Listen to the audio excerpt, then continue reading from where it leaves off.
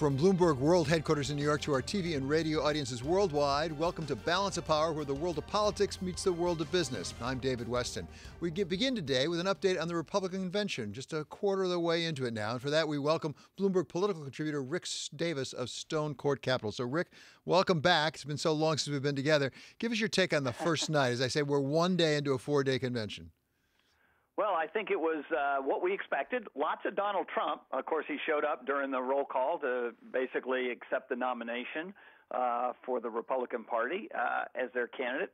And then there was a nice uh, piece that was produced, pre-produced in the Oval Office with uh, people who had been rescued as uh, hostages throughout his administration. and then, and then later on in the evening. So he's making good on his promise to be at the convention every day, in some cases multiple times.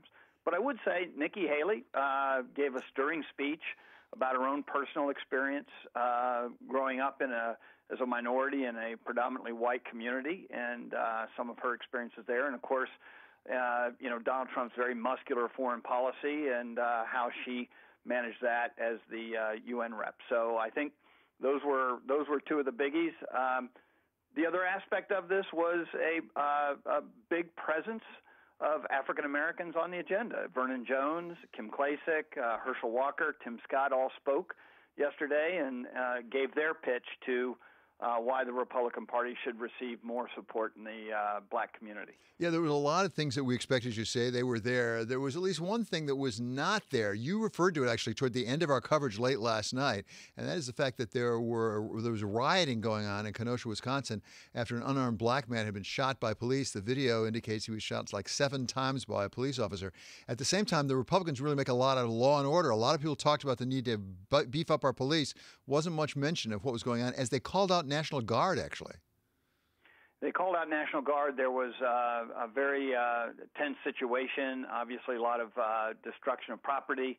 Uh, but look, I mean, these are the things that were ignored, as you point out, at the convention, that uh, much of the discussion was about re- re- restraining these kinds of acts of uh, violence and being, you know, Donald Trump being the law and order candidate but virtually nothing was said by any of the uh, African American speakers about social justice issues. And so, different from the Democratic convention, they left out this portion of the uh, the program. And so, you really wonder.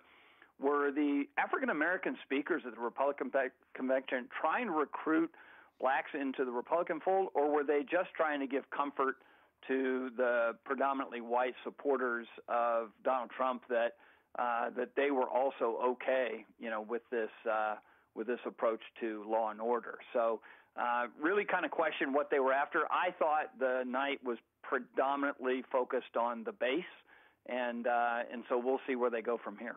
Okay, Rick, thank you so very much. That's Bloomberg contrib- political contributor Rick Davis. He'll be back with us tonight, actually, for our coverage of the convention, night two, which begins at 10 p.m. Eastern Time. The Jacob Blake incident in Kenosha has reignited concerns over policing across the country and raised questions once again of how things like this can still happen. We welcome now someone with particular insight into policing. She is Diane Goldstein. She's board chair of the Law Enforcement Action Partnership, a nonprofit organization advocating for criminal justice. Ms. Goldstein, earlier served for 21 years on the Redondo Beach Police Department. She rose to the rank of lieutenant. So thank you so much for being with us, Diane. Give us a sense of how does that happen? I mean, you've been out there, you've patrolled, you know how policing works. How do we have still the incident where we have uh, an unarmed black man shot seven times in the back? I, you know, I think it's a uh, situation where law enforcement, many aspects, hasn't learned lessons of how to build relationships with uh, communities, and, and in, in particular over police communities um, because of failed drug war policies, you know, systemic institutional issues. And I watched the video just like I watched the video of George Floyd and uh, Ahmaud Arbery's death. And it struck me that we continue to use state authorized violence to try to solve problems that police necessarily shouldn't be involved in.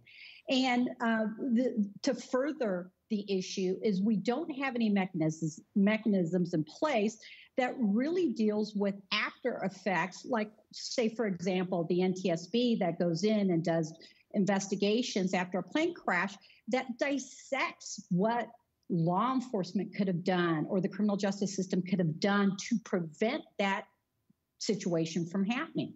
Do we put police officers and people whom they're apprehending in a position where there's just no win for them, essentially? When you watch what happened, and we've only seen that one video, we don't know exactly what happened, but apparently there was a domestic disturbance. You had three or four police officers. They followed him around the car. He was getting to the car with his small children, actually, and then they shot him several times. At that point, by the time you get to that point at the car, are we already in the wrong place? Oh, absolutely. Uh, there's no doubt that from the very beginning, the law enforcement officers lost control of the situation. And irrespective of what happened before the videotape of the shooting, the tactics that that officer took were incredibly dangerous. You don't try to grab someone by their shirts with a gun out. And, um, you know, you fired seven rounds, which um, I believe at this point, four actually hit the victim into a, a vehicle where there's children present. It's an incredibly dangerous situation. And you know, part of it, I think, is a lack of training on how to um, really restrain people using the minimal force necessary. Sometimes that that has to occur in law enforcement. There's a lack of training on de-escalation, communication, relationship building. Um, and I think on, on the flip side is, you know, you have communities that have seen just, you know, a deadly year with law enforcement shootings or the Ahmaud Arbery shooting, which was a former retired law enforcement uh, uh, connection, that uh, Breonna Taylor, you know, previously Philando Castile, where law enforcement has in fact not acted in a fashion based on training, you know, uh, ethics, sanctity of life. And we have to up in policing in order to fix it. Are we sending a message to our police officers that they have to rein themselves in because we have situations? Certainly, Chicago has been out of control from time to time. Right now in New York, we have so many shootings in New York City right now. You can't believe it. Is it possible to both keep the streets safe and also make sure we're not abusing some of the people we're trying to apprehend? Oh, absolutely, and and and I think that's really you know kind of the uh, million dollar question right now. As we have these conversations of reallocation of resources into programs uh, that include mental health, violence disruption, um, you know, and and other uh, evidence based programs that we know reduce crime and reduce the harms of the, the criminal justice system, we also have to work with um, all the public safety stakeholders, which includes the community and police, because if in fact you you steal resources away too fast, you're going to have a depolicing situation. And yet, even with the increase in shootings, what we're still seeing is that crime rate is is very low as well. And, and I'm not trying to minimize um, uh, what is what is occurring, you know, post the the, the protests. But um, I think that we have to be more strategic from a policing perspective, and we have to take a stand that that we are part of the problem we can be part of the solution but we have to work with our stakeholders you know that's the thing that's been lost in policing for a long time is the criminal justice system has has believed that they're the only experts on how to create community health and safety and because of that, they have not been inclusive of all the stakeholders in the community to see how they want to be policed. It's a very complex situation. We have to invest right. the money at front end right. as well as backing. Right. Uh, Diane, I want to raise one specific thing because it came up at the convention last night, uh, actually, which is called restorative justice that you know terribly well, and talk, get your thoughts on that. But I want to listen first to the father of that poor girl who was murdered at the shooting down in Parkland, Florida, and he actually spoke to the convention, and he said he thinks restorative justice is not the way to go. This is what he said. Far left Democrats in our school district made this shooting possible because they implemented something they called restorative justice. This policy, which really just blames teachers for students' failures, puts kids and teachers at risk and makes shootings more likely. but it was billed as a pioneering approach to discipline and safety. So, Diane, as you know, uh, restorative justice is afoot across the country. There are various initiatives right across the country. Explain what it is and explain why you think it might work despite what we just heard from that tragic father.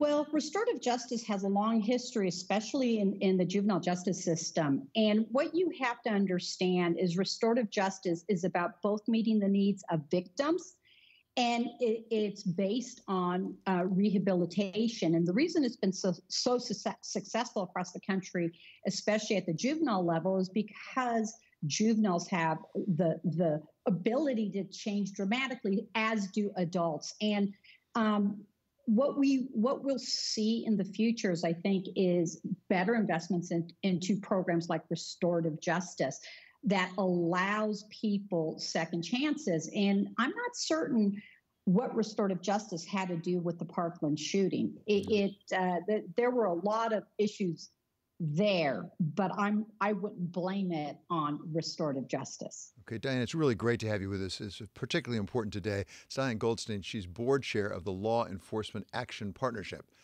Coming up here, what is President Trump's plan for the economy in a second term? We asked David McIntosh of the Club for Growth. This is Balance of Power on Bloomberg Television and Radio.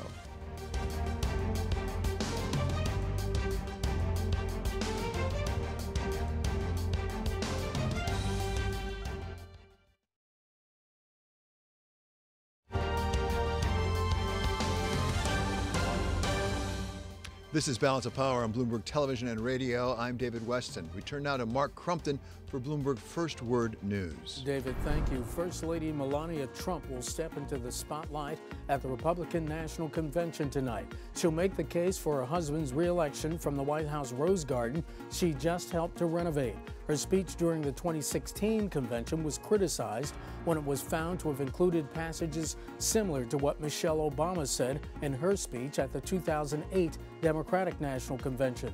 A speechwriter for the Trump Organization later took the blame. In Kenosha, Wisconsin, a second night of violence between police and protesters. That's after a black man was shot Sunday by police in an incident caught on video. Police fired tear gas to try to disperse crowds. Wisconsin's Governor Tony Evers deployed 125 members of the National Guard.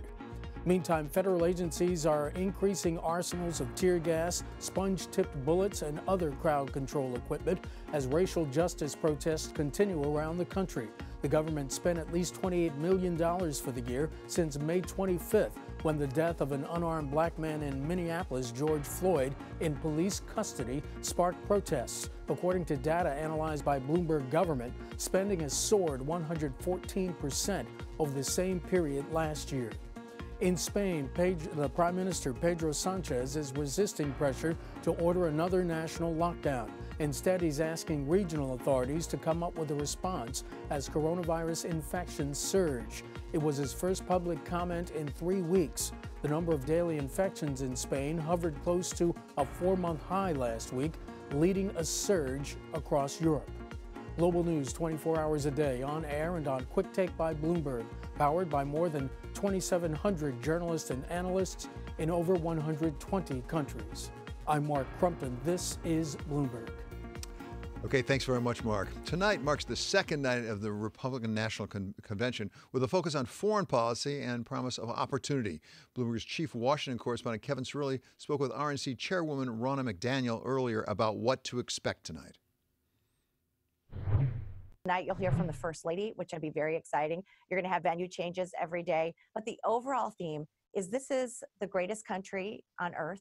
We love this country and we want to have the opportunity and the freedoms that we enjoy as Americans available forever. And that's at risk if we choose a Joe Biden or Kamala Harris. Now, swing state polls have the president trailing just behind uh, uh, Joe Biden. Obviously, we're still a ways out from election day. He's still within striking district distance uh, in these polls. But on the issue of the economy, President Trump, according to the Wall Street Journal NBC News poll, is up by 10 percentage point, despite some disapproval in handling of the pandemic. When you look at those two issues, handling of the pandemic as well as the economy, Uh, how, how do you reconcile that and, and, and use the, the convention as an opportunity potentially uh, to tell the Republican story on the handling of the pandemic? Well, you've seen Democrats really try and politicize the pandemic and use that as a way to criticize the president. And I think most Americans recognize this has never happened in our country. It's a global pandemic. The president took decisive action, cutting down travel to China early on with the PPP loans, with the PPE that he's made available, with ventilators, with uh, warp speed vaccines. So he's addressing that. But I think more than anything, as we talk about the economy, Joe Biden just said, I will shut down America again. I think that is such an elitist view. Not many people can afford to stop going to work right now. People live paycheck to paycheck. We don't see Democrats here trying to pass a stimulus bill. Instead, they're trying to pass a U- USPS bill to make sure that they get elected again. They're not working on behalf of the American people. And when Joe Biden says we're going to shut it down again, you know who can shut down again? Hollywood celebrities and the politically elite most average Americans need this economy to continue growing. And that's what President Trump has done, balancing health and safety with getting the economy open. And on the issue, though, of the economy, you look at a state like Michigan, of course, Chairwoman, that you're incredibly familiar with. Uh, such a key battleground state uh, in this uh, in this election. But you look at some of these suburbs in particular that are swing districts uh, that have gone blue in 2018. That that if if Republicans want to win, they got to win them back. How will the, the, Republican Party try to make some inroads in in those swing districts? Is it school choice? Is it uh, law and order? I, uh, both, and the economy. School choice, law and order, and the economy are things that are going to help bring back suburban voters, especially as they see uh, uh, Joe Biden embrace the policies of Bernie Sanders that are very extreme. There's a reason why they didn't talk about these policies during their convention because they know that they don't appeal to mainstream Americans. When you say we're going to give free health care to people who come here illegally, what does that mean? It means it'll create a magnet for people to come here illegally and it will increase the cost of health care. When they say we're going to give away four year colleges, four year college degrees, moms in the suburbs, we know that's not true. That just means our taxes are going to go up. And you know what? Why don't you focus on getting kids graduating from high school before we give away free college? Uh, there's so many things that they're putting forward that aren't being vetted. And I think suburban women are especially are looking at this and recognizing Joe Biden's policies will bankrupt this country. So that was RNC Chairwoman Ronna McDaniel with Bloomberg's Kevin Cirilli speaking earlier. And a programming note now, we're going to have live coverage of night two of the Republican National Convention. That will start at 10 p.m. Eastern Time tonight. This is Balance of Power on Bloomberg Television and on radio.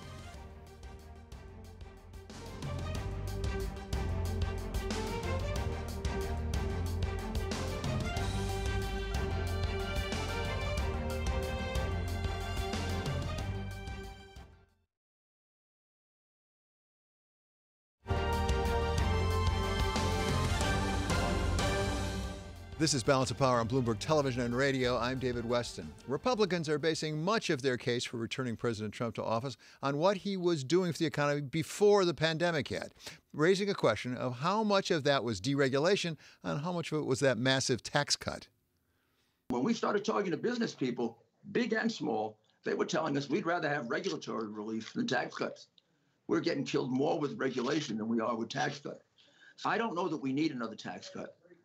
I believe he thinks we do, and he knows more about it than I do. I, I sure know one thing we don't need a big tax increase right now. We welcome back now David McIntosh, president of the Club for Growth. So, David, great to have you here. Do you agree with Rudy Giuliani that going forward in his second term, we don't need tax cuts so much as just more deregulation? Well, and Rudy's point out the big contrast, right? Um, Trump wants to have further tax cuts, and Biden wants to increase them which would uh, tank the economy. I, I, think we need both. I, I think more deregulation, he's exactly right. That will free up American businesses to get started again, hire people back. Um, it costs about fifteen thousand per employee to comply with all the federal regulations. If we can trim off, you know, a couple thousand or five thousand of that, that's more people they can hire back faster. Uh, but the tax cuts, I would target them to the folks who were left out of the last tax bill, the particularly the small businesses who run it on their own tax form. they didn't really get a break, and they're the ones that are struggling the most in this shutdown of the economy. So I think there's there's a need for both, and I'm glad that President Trump's campaigning on both. David, if we really want to stimulate growth, wouldn't be coming to terms with China do an awful lot of good? Because if you look at the record for the first two years of the Trump uh, first term, we were growing at a faster pace than Obama, but then it started trailing off before the pandemic, and a lot of people think that was because we were going to a trade war with China. That certainly affected the markets back and forth. I, I think there the president's got the long game in mind, and and we do need to get to good trade relationships with China. But they have to understand it, it's not going to be a one way deal. Uh, they have to start recognizing property rights, intellectual property. Uh, they've started to open up where foreigners can actually own corporations there. To be a full partner in the world economy, they've got to join into the basic structures of free markets where private property matters. They have to give up that communist notion that it's all collective property. And that's what Trump's pushing for. And I think that that'll be good. Now, tariffs hurt us. So we, I don't think it's a great tool. But I think we do have to push China to get to a, a fair and, and, reasonable trading position. David, one other thing that's come up during this convention, but I didn't hear much of for the first three and a half years of the Trump administration, was school choice. That's being featured really heavily right now. Where did that come from? Why is it all of a sudden so important? Yeah. So at Club for Growth, we've been pushing that for about a month, and it's a, a realization that a lot of people are facing a huge problem with over 50% of the students in schools that are closed or partially closed this fall. Parents, maybe where they're both working, uh, can't manage it all. And so we suggested when the schools aren't being helpful, they're not working for people, or in the inner city, they're just not safe, that send the money directly to the parents, let the parents choose what works for their kids. If they want to do distance learning in the public school but hire a tutor, let them do that. If they need childcare, let them do that. If they want to pick a private school or a charter school or even a religious school, let the parents pick that. And what we realized is yeah. that's now more than just an inner city issue where the schools are in yeah. crisis. It's a suburban, it's, it's an everywhere issue that right. parents need to have the resources yeah. to deal with the schools being closed. Yeah, and something we're going to hear a lot more about, I think, for the rest of the week. Yeah. Many thanks now to We've David been McIntosh. Pushing it hard. Yeah, uh, okay, fair enough. You've been pushing it hard. We're going to hear a lot more about it. It's David McIntosh. He's president of the Club for Growth.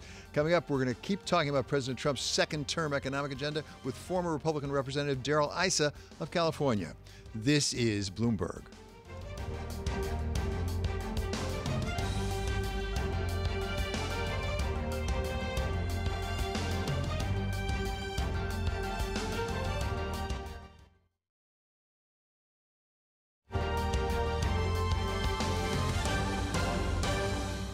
This is Balance of Power on Bloomberg Television and Radio. I'm David Westin. President Trump's economic record will be front and center as we move toward the election. And to take us through that record and what it could mean for a second term, welcome now former Republican representative from California, Darrell Issa.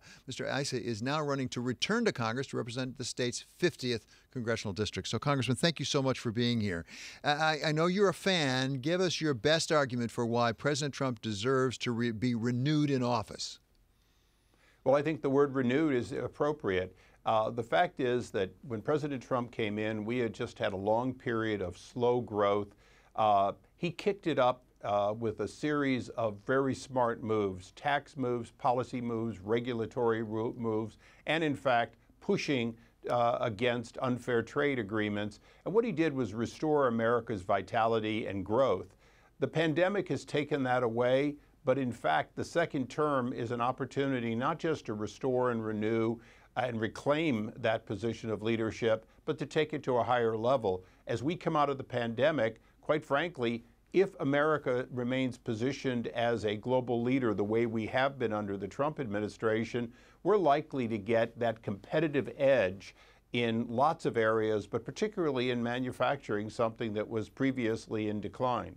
If you take a look at the first three years of the Trump administration, the economy, GDP, was growing faster somewhat faster, not dramatically faster, than it did over the average of the Obama years, without a doubt. It was at the same time that rate of, gro- of growth was slowing down somewhat. Uh, uh are there concerns, particularly because of trade, that in fact we weren't headed for the 4% that President Trump promised us? Well, when you're when you're hitting three percent growth at the end of what had actually been, you know, since 2009, uh, the longest uh, period of economic growth in modern history, uh, it's actually unheard of to have those kinds of numbers. So I think the first thing is you look and say, we were extending the cycle and increasing the cycle. But remember that the, uh, the, the deal with Mexico and Canada is now in place and it's beginning to bear fruit. But our real advances with China, either driving business out of China or driving China to be more fair or a little bit of both, it's still in its fairly early stages. But Europe uh, is certainly waiting for, to see how this works out because they've wanted to turn China from an unfair trader into a fair trader, but haven't been willing to do what President Trump has done, which is engage them straight, straightforward and say, you've got to play by the rules you agreed to. Congressman Issa, uh, at least some of that growth, a fair amount perhaps, was because of a pretty large tax cut that President Trump got through with Congress. In order to restore growth, can we afford that kind of tax cut again, particularly after we've had to spend so much money because of the pandemic? Well, there's no question at all that we've increased our debt, and that debt service is going to uh, uh, be with us for a long time. But just as, as Reagan's tax cuts kept economic growth going for a very long time and allowed America to revitalize, uh, we can do the same thing. The fact is, if you, you can grow your way out of a deficit, or you can tax your way out of it in hopes that it doesn't stifle growth. I always favor the former. Uh, I don't believe that we should be constantly changing our tax code. Right now, we have a progressive tax code in which uh, to be honest, the top income producers pay more than they have in a very long time, uh, virtually since World War II. You have the highest, uh, uh you know, true uh, tax rate being paid, and yet the Harris-Biden, Biden-Harris team wants to dramatically increase it, add wealth tax. California wants to add a specific wealth tax. So you've got a, a group that wants to increase taxes higher than they've ever been before versus a president who says, I want to reduce regulations and hold taxes at a, at a rate that we can afford and grow our way out of it. I think for most Americans, they buy it that we can grow our way out of it, mm-hmm. and that uh, that simply saying we're going to stick it to the rich again is going to end up with the middle class paying a bigger share once again. Uh, Congressman Issa, I want to turn to one of the things. The economy will no doubt be front and center of this election, but also we're going to hear from Secretary of State Mike Pompeo tonight at the Republican convention. He's going to be coming to us from Jerusalem. I suspect one of the things he's going to talk about is the normalization of relations between Israel and the United Arab Emirates, an historic development. Give us your perspective because you know that region terribly well. You have roots actually in the region in the Levant. I do, and uh, you know I've been going back and forth for decades there, uh, working with all the leaders in the area, watching the Palestinians fail uh, to take opportunities in the past, and watching the Arab leaders fail to engage with uh, with Israel, uh, and watching the Iran growth, and of course under President Obama. Uh, that revitalization of, of Iran by giving them $140 billion is still being felt. But under the Trump administration, uh, with Jared Kushner and, and obviously uh, Secretary Pompeo, this engagement uh, is two part. It's an engagement with the Arab world, and they feel comfortable, but it's a lining us up against Iran in a way in which Arab countries have now made choices. They can choose to be with us and Israel against Iran, uh, or candidly, they can continue to live in fear of Iran. Uh, UAE has made this choice, but uh, Kuwait, Saudi Arabia, many other countries are looking for a trigger uh, that's going to allow them to weigh in. But they're going to weigh in for two reasons, and this is what's been brilliant about the tactic: is they know that that being uh, aligned with Israel really means being aligned with the United States against Iran, and that's where most of the Arab nations want to be. Uh, it's certainly for, I'm of Lebanese ancestry, right. it's certainly what's going to give Lebanon an opportunity uh, to push out the effects of Hezbollah that have right. captured that country uh, for about the same quarter of a century plus. Uh, since the last time we had any breakthrough in the Middle East. Congressman, finally and briefly, I'm going to put you on the spot because you do know the region. Who's next? You know, uh, I believe that the statements coming out of Lebanon would, would be true, that they would be next, if not for Hezbollah basically being assassins. So it's likely to be in the Gulf. Uh, Qatar has uh, the easiest path, but I suspect that it's just as likely to be uh, Kuwait, or even if they can do a deal with uh, as to the two-state solution, Saudi Arabia could well weigh in, and of course that's the big, uh, the biggest uh, push. Yeah, that would be massive. Thank you so much. That's really fascinating. That's Congressman Darrell Issa, former congressman from California, running to come back to Congress. For Bloomberg First Word News, we go now to Mark Crumpton.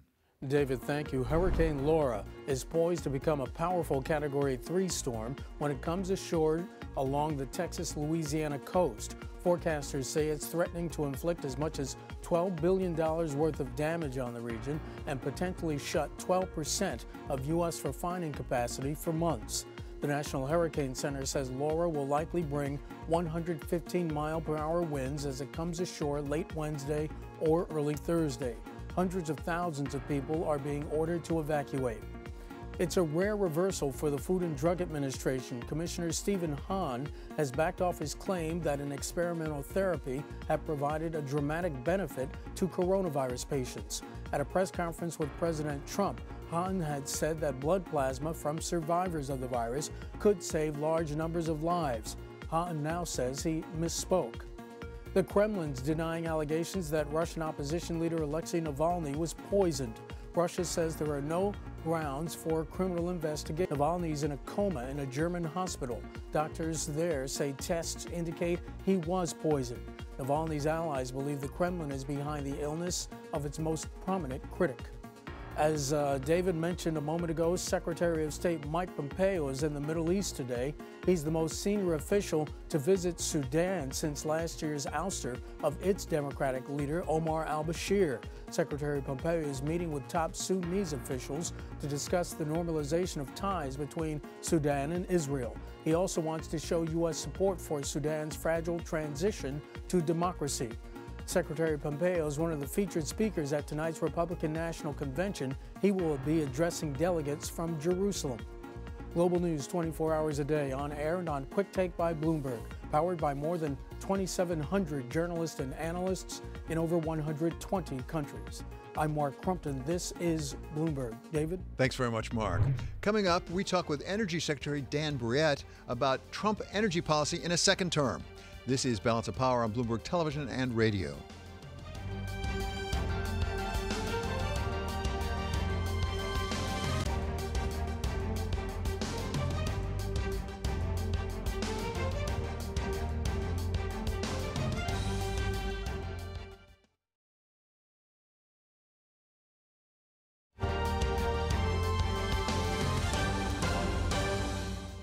This is Balance of Power on Bloomberg Television and Radio. I'm David Westin. One of the starkest differences between Republicans and Democrats remains energy and climate policy, with Joe Biden pledging to accelerate and move away from emissions and fossil fuels started by President Obama, and President Trump pursuing the goal of energy independence based in critically on use of fossil fuels. Welcome now the man charged with implementing the Trump energy policy is Dan Brouillette. He's Secretary of the Department of Energy. So, Mr. Secretary, thank you so much for being back with us. And I I want to talk to you about Trump energy policy in a second term, but first, a couple of developments right now. Laura, a storm that looks like it may hit land down on the Gulf of Mexico on Wednesday and be a hurricane. Can you give us an update on the vulnerability of our oil and gas facilities down there? Sure. Thank you, David. Great to be back with you. Uh, we are very prepared for this hurricane that's uh, seemingly moving into this Houston, Southwest Louisiana area. As you know, the Houston Channel is there. Port Arthur, big, huge refinery is down there several other important uh, pieces of our oil and gas infrastructure are down there. We have a specialized office here at the Department of Energy uh, that is uh, directed uh, by an assistant secretary that is responsible for our CAT response. Their teams are already evaluating this. We're working closely with the industry. We feel that the industry is very well prepared for this type of storm. In addition to that, the president has directed me to make available the Strategic Petroleum Reserve in instances like this. That's what it's there for. Uh, we are uh, doing all that we can to ensure that we are capable of doing that immediately following this storm. So we feel overall we're very prepared. Uh, at this point, we'll have to just watch and wait and see where the storm ends up. Uh, Secretary let's move out to California, where there have been these brownouts, basically power going down at various mm-hmm. times because it's been very hot, without a doubt. What's going on there? Is there some more fundamental problem? Oh, absolutely. There's no question about it. Uh, California has a long history of getting energy policy wrong. Uh, you, you, may recall the the blackouts, the brownouts from 2001. Uh, you know, there was a, a, a, market issue back in that point in time where people were manipulating the market, but they were manipulating it because of the wrong uh, policies that chose uh, California chose to implement at that time. We're seeing some of that replay today. What California has decided to do is to move to a 100% renewable energy generation world. The challenge with that is that, you know, when the wind doesn't blow and the sun doesn't shine, yet people want electricity, it isn't there. So their overall strategy is to borrow electricity or buy electricity from their neighboring states like Arizona and Nevada. Um, the challenge, you know, with that strategy is that when it's hot in California, sometimes it's also hot in Arizona and Nevada, and they may choose to keep their base load power and keep their electricity because they'd like their hospitals to, to run just fine and air conditioning uh, to work there as well. So there's nothing to sell to California. And that leaves California in the awful position of having to turn off the lights in certain parts of the state in order to meet their, their energy needs. So that takes us to that fundamental fork in the road right now, at least between Democrats and Republicans, over renewables and avoiding emissions on the one hand, and really relying upon uh, fossil fuels for energy independence that I described. Uh, right. At the same time, the Pew Center did a study back in June and said that 60% of Americans really are concerned about climate. I will say it heavily skews toward Democrats. Democrats and Republicans see this very differently. Mm-hmm. Can we have a bipartisan energy policy in this country? Sure, you can. I mean, natural gas is a very clean source, and we're developing technologies here at the at the U.S. Department of Energy to make it even cleaner. We're also developing technologies to make you know carbon intense fuels like coal even cleaner. And of course, we always you know have had nuclear power for the last 70 years, which is entirely emissions free. So I mean, you can do both. You can have a renewable generation base, and you can have an emissions free baseload uh, generation available to you. You just have to choose to do it. And I think that's what the fundamental problem is in places like California. They've relied too heavily or focused too heavily on renewable power like wind and solar at the exclusion of some of this base load power, which you absolutely need in today's world to ensure that you have the energy you need when you need it. President Trump's administration has done a fair amount in trying to really, as I say, reinforce energy independence for the United States, relying in mm-hmm. part, in significant part, on fossil fuels. What's left to be done if he's elected for a second term? What's on your agenda? Well, we need to continue to build out infrastructure. So, you know, as you and I have discussed in the past, we have done a great job in America of increasing our production, making ourselves energy independent relying on new technologies or newer technologies like horizontal frac, uh, horizontal drilling and fracking to allow us to increase production of, of these resources here in the United States. Our challenge today is actually getting the product to market. It's building out pipeline infrastructure to get it to the oceans, to get it to the coastlines. It's building export facilities so that we can make this oil and gas available to the rest of the world because they're going to continue to use these types of fuels for the you know, foreseeable future, perhaps as many as 40 to 50 years out. And I think it's important that as we do this, we maintain our posture in the world as the number one producer of oil and gas. And the reason we'd like to do that is because it gives us foreign policy options that I think you were discussing on your show just a few minutes ago. The whole notion that we are able to, you know, for instance, the Secretary of State traveling to Sudan today to perhaps normalize relations between Sudan and Israel to work on deals like the UAE and Israel. Those things couldn't have happened 40 years ago because we would have been afraid of the reaction in the Middle East, and perhaps we would have endangered our national security by putting our oil supply at risk. We were entirely dependent upon them. The fact that we are independent today allows us to pursue these types of foreign policy op- uh, options. Energy is important in our society for all sorts of reasons, but it also is the source of a lot of employment. There are a lot of jobs in the energy industry. And one place where the Republicans and the Democrats seem to be two ships passing in the night is uh, how we're going to create more jobs. Uh, we heard uh, former Vice President Biden say he's going to create millions of more jobs by going to green energy. We hear Republicans criticize his policy for saying you're going to lose a lot of jobs. Which is it? Aren't we adding more jobs in renewables right now than we're adding in traditional energy? Yeah. Well, I, I, can't really comment on Mr. Biden's comments as part of the campaign. I'm prohibited from doing that. So I will, I will stay away from that. But what I will comment on is that, you know, when we look at the technologies that have put us at the top of the world in terms of energy production, hydraulic fracturing, we just mentioned, you know, the U.S. Chamber of Commerce tells me that if we were to do away with that technology, we would lose approximately 19 million jobs over the next few years. And, you know, it's not a question of retraining those people and putting them into uh, renewable technologies.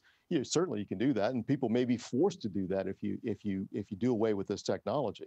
But the challenge with that, David, is that the, the salaries, according to the unions that we have talked to, the salaries in the oil and gas business are about twice what we're seeing in the renewable energy space. So it's one thing to suggest that you might retrain people and put them into a new role, but you're also giving them a 50% pay cut according to these unions. Fascinating. Just briefly here at the end, give us some sense of the investment you're making in new technology at the Department of Energy. Well, it's enormous. I mean, we're across the board. We spend about $16 billion a year uh, just in basic science, basic research that leads to these technologies that we just discussed. I'm very excited about what's just over the horizon with regard to advanced nuclear reactors. I think we're right on the cusp of not only smaller reactors, higher density energy sources for America uh, that will be connected to microgrids in some cases. We're also excited about moving perhaps even beyond fission energy, nuclear energy as we know it today, to fusion energy. So it's a very exciting world uh, that we're about to face. Is there a real prospect of fusion energy? People have been talking about that forever. That's true. Yeah, they have been. But we've made real progress. We've turned around some of the management issues around a large facility in France right. uh, known as the ITER facility. But we also have private sector companies here in the United States who have made tremendous advances. Yeah. Uh, General Atomics, several yeah. others out in California. They're doing a great job. It's fascinating. Thank you so much, Mr. Secretary. That's Dan Brouillette. He is United States Energy Secretary.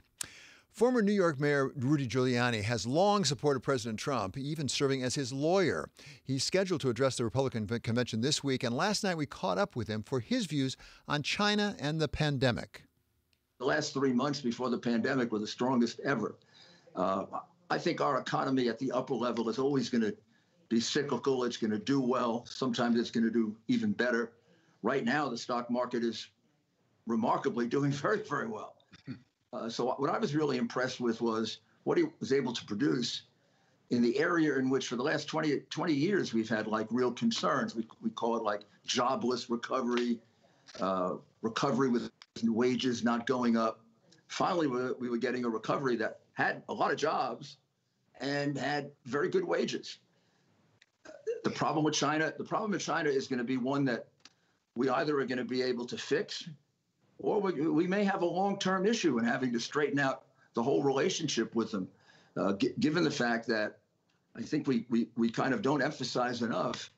They seem to have been very much behind this whole COVID uh, spreading throughout the world. It certainly originated there.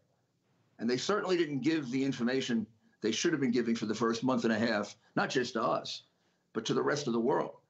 And that's, that's a serious, serious problem. And it may be we're, we're in a Chinese regime that's different than we used to think the Chinese regime was. We thought it was a regime that wanted peaceful rising. We may actually be involved with a regime that wants world domination. And well, uh, we've got to make a choice as to how we're going to deal with that. There may be some economic consequences to that, but long term, we can't be blind to the, to the fact that this Chinese government seems different than the Chinese governments that we actually negotiated a lot of these agreements with that did seem to have a strong nucleus of uh, people that wanted to have a peaceful rise. It seems somewhat different than that. Yeah, Mr. Mayor, I think a lot of commentators have said President Xi seems to be more assertive than his predecessors have been. I think a lot of people would take that point. The, and there's no question that the virus started in China. At the same time, I'm not aware of any evidence, are you, that there was malice of forethought in this? No, I'm not either. I, I don't. I don't. I have never seen any evidence that they did this on purpose. I do very strongly believe that it did originate probably by neglect and what about a realistic approach to COVID 19 at this point? It has not gone away, although right now it seems to be quieting down some in the United States. There's a lot of concern about a second wave. You've managed some very difficult circumstances, particularly when you were mayor of New York, including 9 11. Uh, if we have, in fact, sort of a chronic COVID 19 issue, we don't get the vaccine that people promise, but we can't be sure of, how was the best way to manage that problem for the United States, for its citizens, for its economy going forward? Well, I think, I mean, I think we learned a lot from the last four or five months. And for example, Joe Biden, I think it was today or yesterday, said that he would follow the science and close down and shut down the country again if he had to. Well, if, if you understand the facts and the science, there'd be no reason to close down the entire country, even if it came back. We, we probably didn't have to close down the whole country. 85% of the impact was on people 60 years and older. The idea of closing schools was really unnecessary. And in fact, by focusing on the entire population, because we didn't know where the real impact was going to be. I think we lost a lot more older people than we should have. And finally, Mr. Mayor, uh, you said that if you just look at the record of Donald J. Trump, uh, he wouldn't be have very much trouble getting reelected at all. But there are other aspects to this, some of the ways he expresses himself, some of the tweets, things like that. You're close to President Trump. There are other advisors who are very smart, very wise, who talk with him. Surely you all must have said, if you just tone it down some, you'll do a lot better. You're making it harder for yourself. Why doesn't he do that? Well, you know, there, there, I, I worked for President Reagan, and I remember when he lost the first debate to Mondale, and Mrs. Reagan said, "Let you know, let's Ronnie, let Ronnie be Ronnie, and let Reagan be Reagan." We're all a combination of complexities, and at first I used to get nervous about the tweeting, but I now realize that even though every single one of them doesn't work, this is a, a, a remarkable opportunity for him to communicate with his people. And since he isn't um, I think I'm understating this, the most beloved by the press, or vice versa. I'm not sure he gets a fair interpretation. So the only way he can really overcome that is by direct communication. And he's probably the president who has directly communicated with the public more than anyone else. And I'd argue that he actually has opened up a new way for leaders to communicate with their people. That was part of my interview with former mayor of New York, Rudy Giuliani, who then went on to be a close advisor and supporter of President Trump, including representing him as his lawyer. Coming up in the second hour, Balance of Power on radio, we're going to talk with a former Democrat who was a senator from Alaska, former Republican who was a representative from the state of Wisconsin about this convention, as well as talk to Myron Brilliant. He's with the U.S. Chamber of Commerce about the foreign relations issues we'll see tonight. And getting to tonight, Program note tonight at 10 o'clock Eastern Time, we will be bringing you live coverage of the Republican National Convention. We expect to hear from the First Lady of the United States, Melania Trump, as well as Secretary of State Michael Pompeo being featured speaker. He will be coming to us from Jerusalem, no doubt to talk about that normalization of relations between Israel and the United Arab Emirates, even though there's some controversy about whether he should be doing that consistent with the Hatch Act. That's all coming up in the next hour and then again tonight. This is Balance of Power on Bloomberg Television and on Bloomberg Radio.